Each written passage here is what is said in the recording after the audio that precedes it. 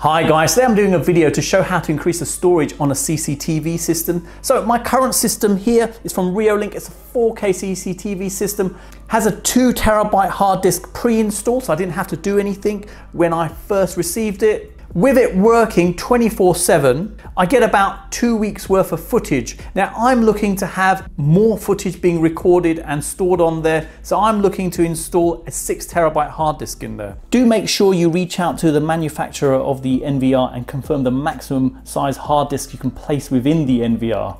Otherwise your efforts will just be wasted if it's not compatible. So you wouldn't want to install a standard hard disk in there only because it needs to be optimized to run with these systems. Reason being the hard disk in a normal computer spins around but it does go to sleep at certain points when it's not in use whereas a CCTV system hard disk is constantly running. So that's the key difference with the drive you need to install. So coming over to my system here, you can see I've got two terabyte installed at the moment. Now there's two methods you could do. You could back up all the footage you have, or you could just go ahead and install a new hard disk. I don't see the point of backing it all up. All I'm gonna do is just put the hard disk at the side. If I ever have a problem and I need to go back through footage, I can just put the hard disk back in again which is probably the easiest option you've got. So the first thing I'm gonna do is shut down the system. Okay, so it can be powered off now.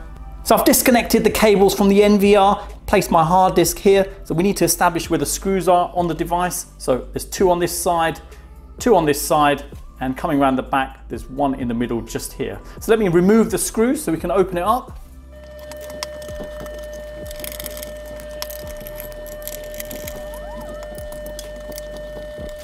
Now the screws are out, I can just slide the cover up and remove it. And looking on here, you can see the hard disk that's in here. It's a Seagate Skyhawk Lite.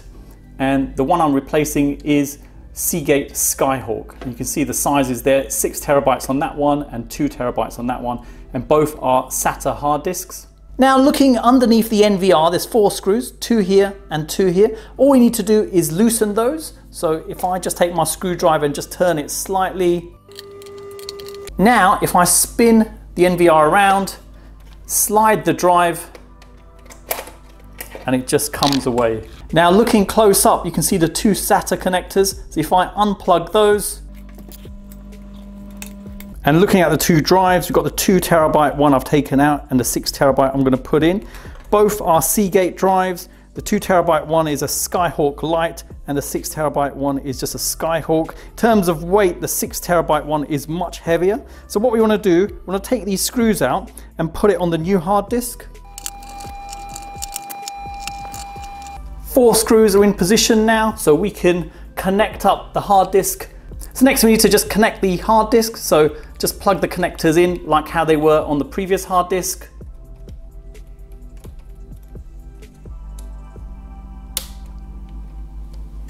So next we just need to hook in the screw points onto the case.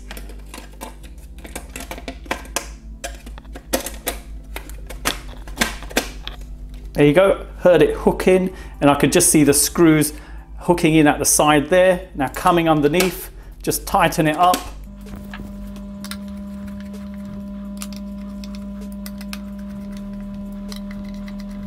There you go, that's tightened up in position. You can see for yourself, nice and secure in there. Just double check after you've connected it that the connectors are nicely and firmly pushed into position and then we can just put the cover back onto the NVR and just slot it in.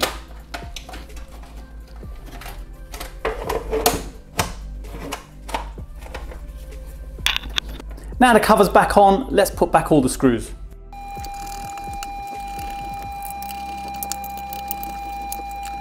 So there you go, so all the screws are back on. So that's all you need to do to replace the hard disk. So next, let's plug this back in again. Cables are plugged in now, so let me turn on the NVR.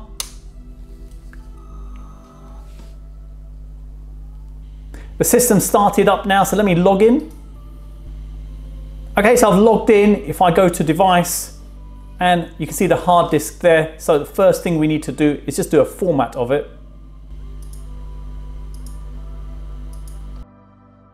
And there you go. It's appeared and it's showing there's up to six terabytes on there. So it's simple as that. The reason it was previously showing zero gigabytes is the fact that I was using it for another purpose previously. So hence why it wasn't reporting correctly. But as soon as you format it, it comes back. So I always recommend if you do install a hard disk, don't assume it's working, format it straight away.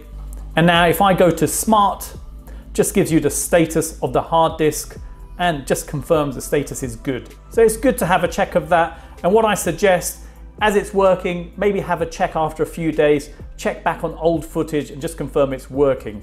Now, the process I've shown you is literally the same on every NVR system.